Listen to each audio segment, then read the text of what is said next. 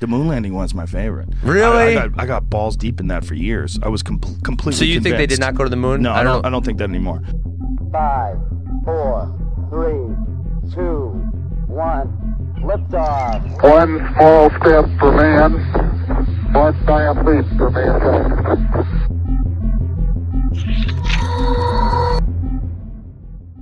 Neil Armstrong's legendary step onto the moon left the world in awe, his words capturing the monumental achievement of mankind. Yet, there's a hidden message, a secret unveiled by Joe Rogan, that piques curiosity about the moon's mysteries. Armstrong's life, from his early days enchanted by flight near the Wright brothers' birthplace, to his daring feats as a NASA astronaut, paints a vivid picture of a man destined for the stars.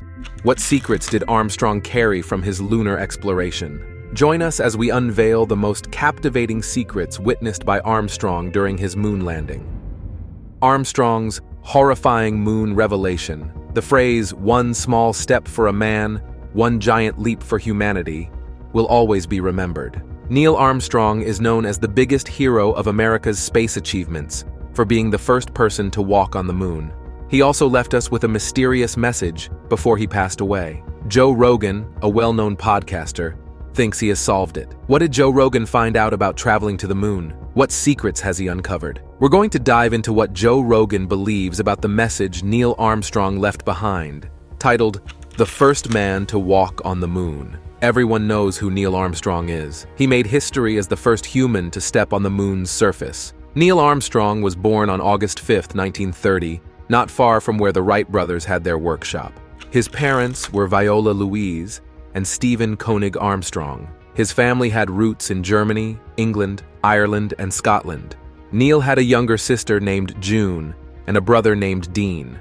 His dad worked as an auditor for the state of Ohio, and because of his job, the family moved a lot. They lived in 16 different places over 14 years. Neil was destined to fly. His passion for flying started very early. When he was just two years old, his dad took him to see the Cleveland Air Races. By the time he was five or six, he went on his first plane ride in Warren, Ohio. He and his dad flew in a Ford Trimotor, also known as the Tin Goose. Neil got his pilot's license when he was just 16, before he even had a license to drive a car. In 1947, he went to Purdue University with a scholarship from the Navy to study how to design airplanes. As part of his Navy scholarship, he was trained to be a fighter pilot in Florida. His time at college was interrupted by the Korean War.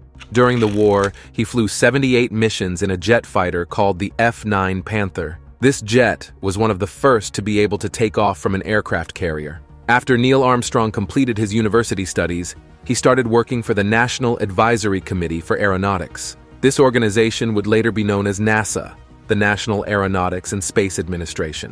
In 1958, this quiet young man from Ohio quickly became famous as one of the bravest and most skilled test pilots at NASA's Flight Research Center, which today is named in his honor.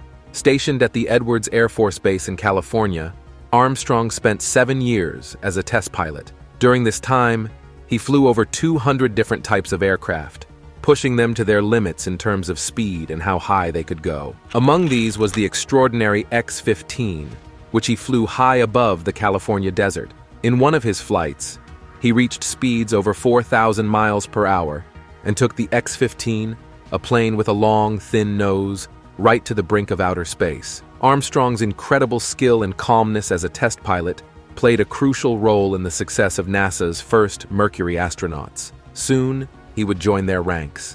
In 1962, Armstrong was selected for NASA's astronaut training program in Houston. During this period, his personal life faced a tragedy when his wife Janet's and his second child, a two-year-old daughter named Karen, passed away from a brain tumor that couldn't be treated. To cope with his immense grief, Armstrong threw himself into his work, focusing on preparations for the Gemini program. This program was NASA's next step in their ambitious plan to reach the moon. In 1966, Armstrong was picked as the lead pilot for the Gemini 8 mission. This mission was notable because it was NASA's first attempt at docking two spacecraft in orbit, a maneuver fraught with danger and complexity. Armstrong and his co-pilot, David Scott, managed to successfully dock with an unmanned spacecraft. However, shortly after, their spacecraft started spinning out of control because of a broken thruster. Armstrong was able to regain control by using the re-entry control system, but they had to cut the mission short and make an emergency splashdown in the Pacific Ocean. It was a narrow escape, but Armstrong's quick thinking and calm demeanor saved them. Armstrong's most significant mission was still to come, one that would cement his place in history. He was appointed the commander of Apollo 11, the very first manned mission to land on the moon. How did humans manage to reach the moon? What challenges did they face on their journey through space? What could have gone wrong, and what actually did? We're about to delve into the incredible story of the flight to the moon. The initial team for this monumental mission consisted of Commander Neil Armstrong, Command Module Pilot Jim Lovell, and Lunar Module Pilot Buzz Aldrin, who were originally the backup crew for Apollo 9. Lovell and Aldrin had experience flying together during the Gemini 12 mission. Due to some delays in the design and manufacturing of the lunar module, there was a switch in the prime and backup crews for Apollo 8 and Apollo 9, making Armstrong's team the backup for Apollo 8. Following NASA's usual pattern for crew rotation, it became expected that Armstrong would lead Apollo 11. This decision set the stage for one of humanity's most significant achievements. Step back to see how Neil Armstrong began his path to being the first to step on the moon. The Apollo 11 trio, work over friends. There was a significant adjustment in the crew lineup. Michael Collins, who was set to be the command module pilot for Apollo 8, started having issues with his legs. The doctors found out he had a bone problem between two of his spine bones, which needed an operation to fix. Jim Lovell took his place for the Apollo 8 mission. Once Collins got better, he joined Armstrong and the team as the CMP for Apollo 11. During this shuffle, Fred Haise stepped in as a backup lunar module pilot, and Buzz Aldrin took over as the backup CMP for the Apollo 8 mission. This made Apollo 11 the second time an American space mission was crewed entirely by astronauts who had been to space before. The first time was Apollo 10, and then it happened again with STS-26 in 1988. Deke Slayton, one of the people in charge, gave Armstrong the choice to have Aldrin replaced by Lovell because some people found Aldrin hard to work with. Armstrong didn't have any problems with Aldrin, but he took a day to think about it anyway. Ultimately, he decided against the change, feeling Lovell should get to lead his own mission. The main crew of Apollo 11 didn't share the kind of easygoing friendship seen in the Apollo 12 team. Instead, they built a respectful, professional relationship. Armstrong was known for keeping to himself, but Collins, who also preferred his own company, admitted he didn't respond well to Aldrin's efforts to get closer. Aldrin and Collins thought of their group as friendly, but not close, like amiable strangers. Armstrong didn't quite agree, saying every team he was part of got along just fine. On July 16, 1969, the Saturn V rocket blasted off from Florida. This event captured the attention of millions of viewers all around the world through their television screens. Four days later, Armstrong and Aldrin left the command module, climbed into the lunar module named Eagle, and got everything ready to land on the moon. At precisely 1744, Eagle left the command module, named Columbia. Collins, left alone in Columbia, checked Eagle from his position to make sure it wasn't damaged and that its landing gear was set up right. Armstrong humorously noted that the Eagle now had its wings as they began their descent. During the descent, Armstrong and Aldrin noticed they were moving across the moon's landmarks a bit too quickly, being ahead by two or three seconds. This meant they were going to land further west than planned, missing their intended landing spot by miles because they were traveling faster than expected. The issue might have been caused by mascons, areas on the moon's surface that have more mass and create stronger gravity, potentially changing Eagle's flight path. Gene Kranz, the flight director, guessed that the problem could have been due to extra air pressure inside the docking tunnel, or perhaps because of the way Eagle spun around. Just five minutes after they started lowering the lunar module towards the moon, and when they were about 6,000 feet up in the air, the crew faced their first big tech hiccup. The LM's brain, a computer, started beeping with warning signals, codes 1201 and 1202. These weren't simple beeps. They meant the computer was overwhelmed, trying to do too many things at once, and couldn't keep up. Back on Earth, in the control room, a computer expert named Jack Garman quickly figured out that it was still okay to keep going down to the moon. He told this to Steve Bales, the guidance officer, who then relayed the reassuring message to the astronauts. Margaret Hamilton, who was in charge of the Apollo flight computer programming back at the MIT lab, remembered that when Neil Armstrong glanced back outside, he saw a problem. The computer was aiming to land them in a risky spot filled with big rocks, right next to a huge crater 300 feet across, known as West Crater. Armstrong didn't stick to the plan. He took over some of the controls himself, trying to find a safer place to land. He thought about landing near the rocky area to grab some cool rock samples, but scrapped that idea because they were moving sideways too fast. Buzz Aldrin was his co-pilot, reading off the speed and direction while Armstrong steered the Eagle. Getting closer, now just 107 feet above the moon's surface, Armstrong saw their fuel was running low. He was set on landing as soon as he could find a safe spot. Then, at about 250 feet up, he spotted a potential landing site, but noticed it had a crater too. Dodging that, he finally found a smoother spot. Now only 100 feet away from landing, with just 90 seconds of fuel left. The dust flying up from the moon made it hard to see and judge how fast they were moving. However, Armstrong spotted some big rocks through the dust cloud and used them to gauge their speed. A signal light turned on, telling Aldrin that a long sensor hanging from the LM's foot had touched the moon's surface, hinting they were moments away from landing. Aldrin announced this contact light signal. Normally, Armstrong should have immediately turned off the engine to prevent any risk of explosion from the engine's exhaust bouncing back from the lunar ground. But in the heat of the moment, he forgot. Three seconds later, they landed safely, and then Armstrong remembered to shut down the engine. Go further into Armstrong's moon adventure, where what we know gets tested. What will we find? Was the moon landing real?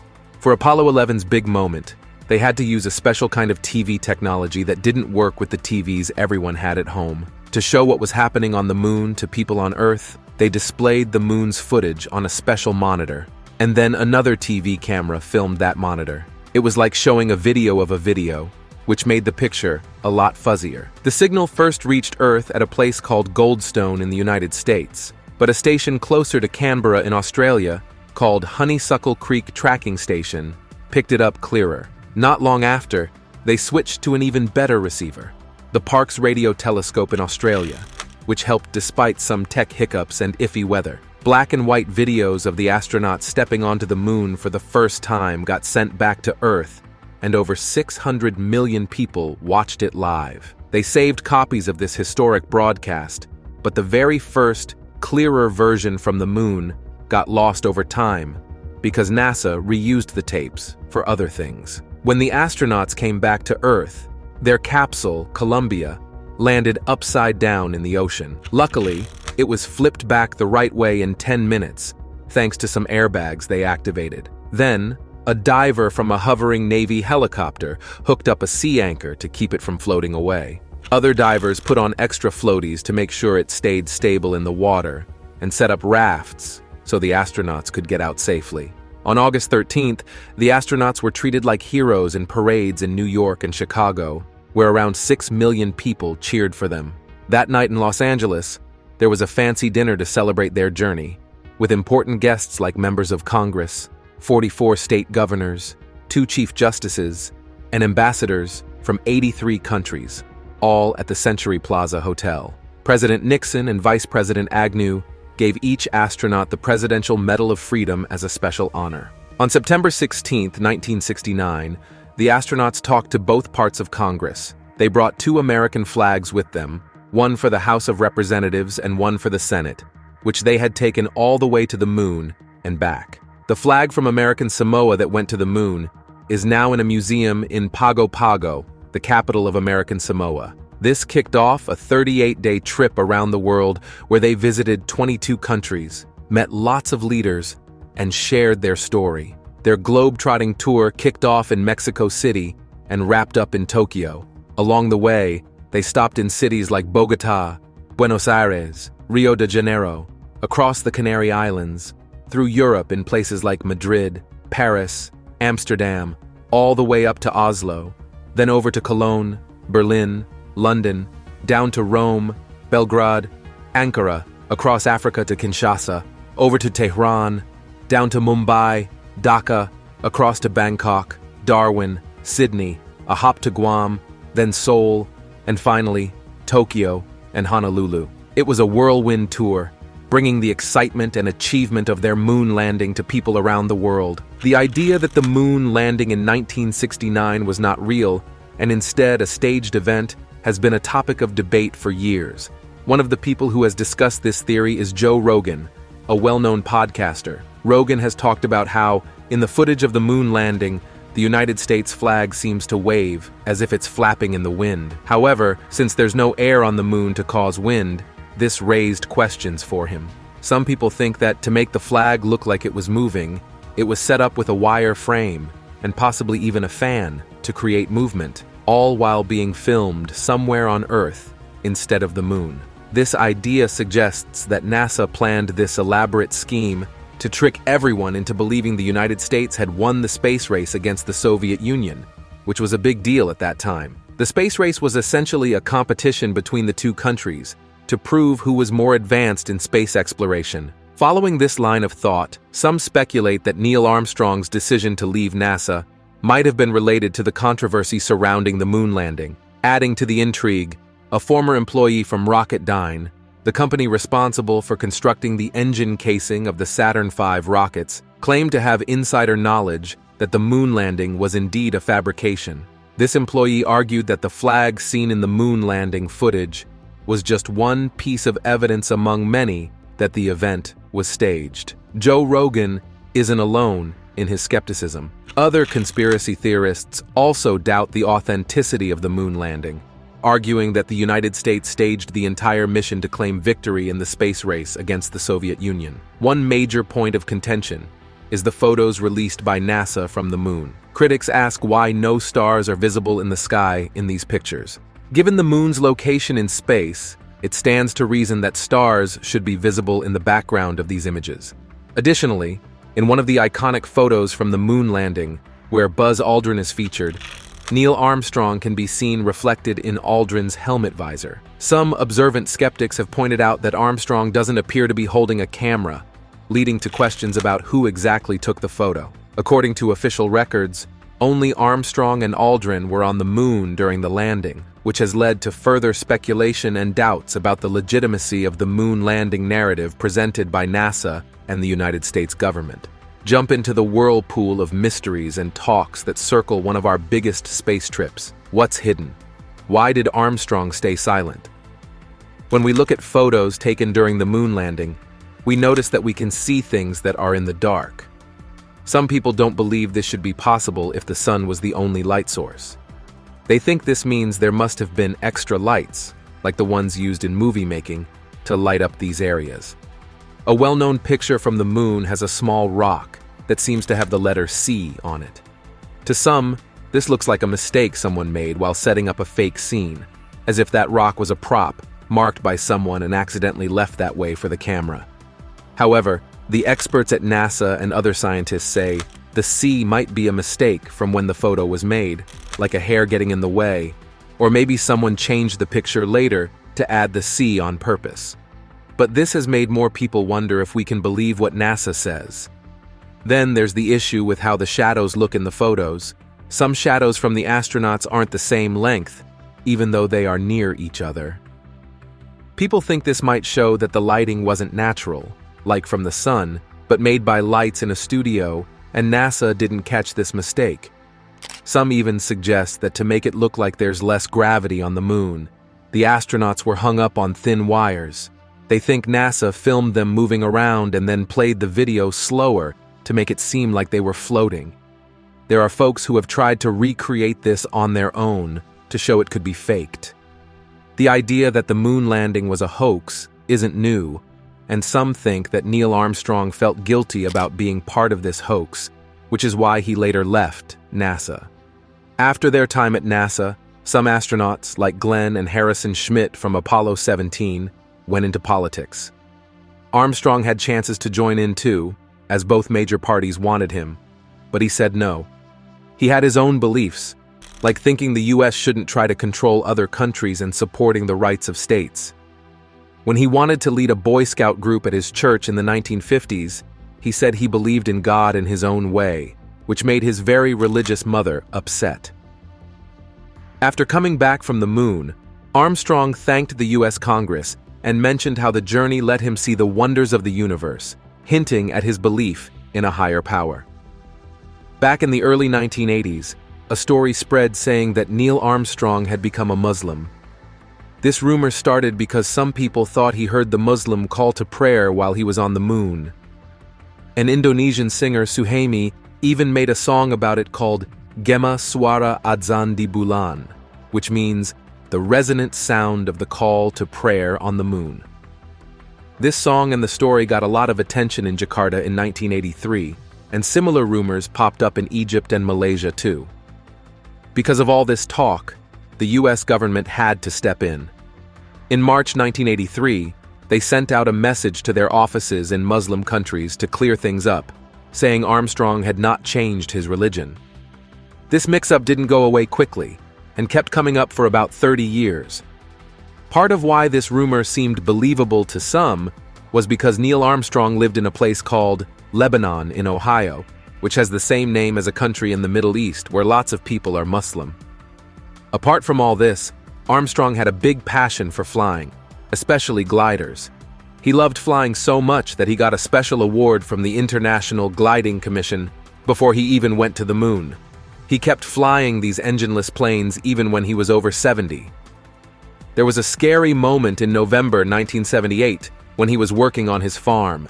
He accidentally caught his wedding ring on the wheel of his grain truck, and it ripped off the tip of his finger. He quickly picked up the piece of his finger, put it on ice, and doctors were able to put it back on at a hospital in Louisville, Kentucky. Years later, in February 1991, he had a heart scare while skiing with friends in Aspen, Colorado. He had a mild heart attack, but was okay after that. In August 2012, Armstrong had to have a big surgery to fix his heart at a hospital in Cincinnati. It seemed like he was getting better after the surgery, but then he had some serious problems and passed away on August 25th, at the age of 82. After he died, President Barack Obama said that Armstrong was one of the greatest American heroes not just in his own time, but in all of history. Obama praised him for achieving something unforgettable for the United States and for all of humanity. Looking back at Armstrong's huge mark on history, how does his story push us to dream bigger? Send a wink to the moon for Neil. Neil Armstrong's family shared their feelings about him, painting a picture of a man who didn't seek the spotlight despite his incredible achievements. Armstrong was a true patriot and served his country in many ways, first as a Navy fighter pilot, then as a test pilot, and finally, making history as an astronaut. His passing was a time of both sadness and reflection, reminding us all of the extraordinary life he led. His family hoped his journey would inspire young people everywhere to chase their dreams, to dare to go beyond what seems possible, and to dedicate themselves to something bigger than their own desires. To honor Neil's legacy, his family made a simple request to remember him for his service, his achievements, and his humble nature. They suggested that whenever anyone looks up at the night sky and sees the moon shining back, they should think of Neil Armstrong and wink in his memory. This idea captured the hearts of many, sparking the Twitter hashtag WinkAtTheMoon where people from all over shared their moments of winking at the moon in tribute to Armstrong. Buzz Aldrin, another space legend and Armstrong's comrade on the moon, remembered him as the epitome of an American hero and the finest pilot he had ever known. Aldrin expressed a heartfelt regret that they wouldn't be able to mark the 50th anniversary of their lunar landing together in 2019. Michael Collins, the third member of their historic mission, also paid tribute to Armstrong, calling him the best and sharing his profound sense of loss. NASA Administrator Charles Bolden highlighted Armstrong's eternal place in history, asserting that as long as there are history books, Neil Armstrong will be featured prominently. Bolden admired Armstrong for achieving the first small step on a world that wasn't our own, a feat that expanded the horizons of humanity forever. In July 2019, 50 years after humans first landed on the moon, news came out about a legal battle involving Neil Armstrong's family. The New York Times shared that Armstrong's family had taken legal steps against Mercy Health Fairfield Hospital, the place where Armstrong passed away. Interestingly, Armstrong's wife, Carol, chose not to be involved in the lawsuit. People say she thought that her husband wouldn't have wanted to sue the hospital.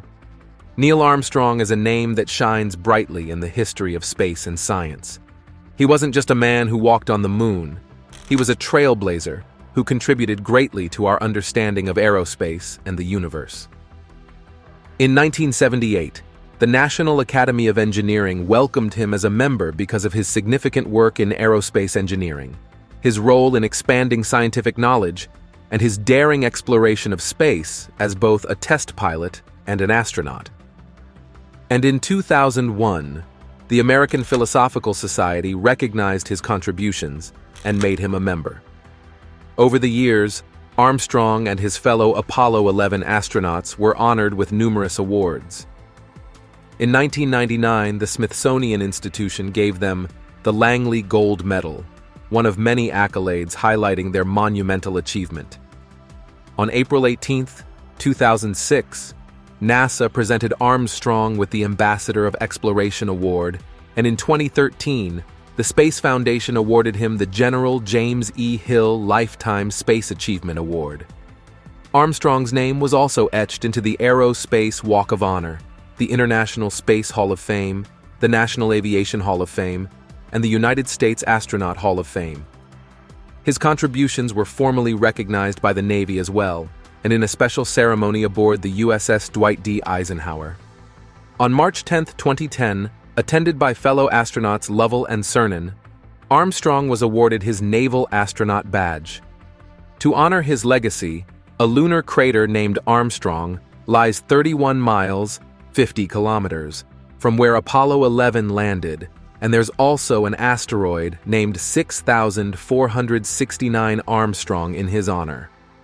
In the United States alone, more than a dozen schools carry his name, teaching children about his legacy and inspiring future generations. But his name isn't just found in schools, streets, buildings, and other places worldwide bear the Armstrong name, celebrating the Apollo missions and Armstrong's contribution to space exploration. His hometown of Wapakoneta honors him with the Armstrong Air and Space Museum, and the Neil Armstrong Airport in New Knoxville, Ohio, is a testament to his enduring influence. The mineral named Armstrongite carries Neil Armstrong's name as a tribute to him. Another mineral, Armalcolite, is partly named after him too, showing how much respect scientists and researchers have for Armstrong's contributions to space and science. In a significant honor from the world of academia, Purdue University, where Armstrong studied, decided to name one of its engineering buildings after him. This building, called the Neil Armstrong Hall of Engineering, was officially opened in October 2007. Armstrong himself was there for the opening, along with 14 other astronauts who also studied at Purdue. This event was a big deal because it showed how much Armstrong and his fellow astronauts mean to the field of engineering and space exploration. In 2014, NASA decided to rename one of its research centers after Armstrong, calling it the NASA Neil A. Armstrong Flight Research Center. This was a way of acknowledging Armstrong's important contributions to aerospace research and his historic role as the first person to walk on the moon. The U.S. Navy also paid tribute to Armstrong by naming a new class of research vessels after him. The first ship in this class was called the RV Neil Armstrong, launched in September 2012. Armstrong's legacy also includes a vast collection of personal items related to his space missions and life. In 2018, his sons decided to auction off some of these items, including his Boy Scout cap, flags, and medals. These auctions were very successful, with people willing to pay millions to own a piece of history connected to Armstrong. The first series of auctions brought in $5.2 million, and by July 2019, the total from the sales reached $16.7 million. Some of the most fascinating items sold were pieces of wood from the propeller and fabric from the wing of the Wright Flyer, the first powered aircraft, that Armstrong took with him to the moon. These pieces sold for huge sums, ranging from $112,500 to $275,000 each. Could Neil Armstrong's cryptic message hint at untold truths about our moon? Perhaps secrets beyond our grasp? Share your thoughts, and don't forget to like and subscribe for more revelations.